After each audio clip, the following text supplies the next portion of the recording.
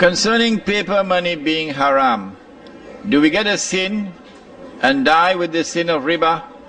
Because obviously at the moment we can't get out of it. Okay, the answer is located in the hadith of Sahih Bukhari.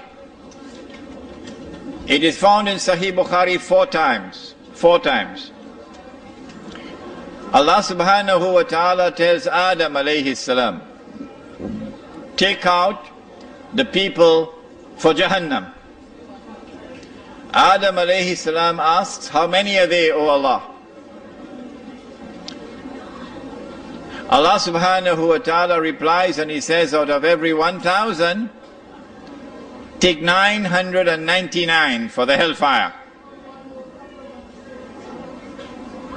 999 out of every 1,000 for the hellfire. The companions of the Prophet were dismayed. He said, Bushra lakum, good news for you. The one for Jahan, the one for Jannah will be from you. Namely, someone who follows the Quran and Sunnah. This is the only one who can survive.